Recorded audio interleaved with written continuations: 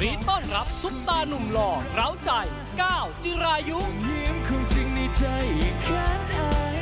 โยนหัวใจให้พวกน้องๆหน่อยนี่นี่นี่นี่นี่นี่อ่าเฮ้ยฟอยโชว์หน่อยโชว์หน่อยคว้าเข้ามาคว้าเข้ามาส่งมาให้พี่ส่งมาให้พี่เร็วส่งมา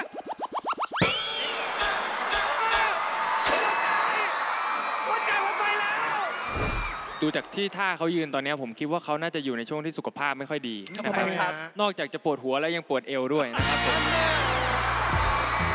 มาเชียร์เก้าไปพร้อมกันพุธนี้2ทุ่ม5นาที เอิงเอิงเอิงฉาเอิงเงยพี่พี่ผสมปูนเสร็จยัง